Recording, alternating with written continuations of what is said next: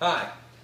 Barrel wax. Now, this is not something everybody's going to need. In fact, it's only a rare occasion that you're going to find one of our barrels that may have a small leak in it. But on an occasion, there may be one.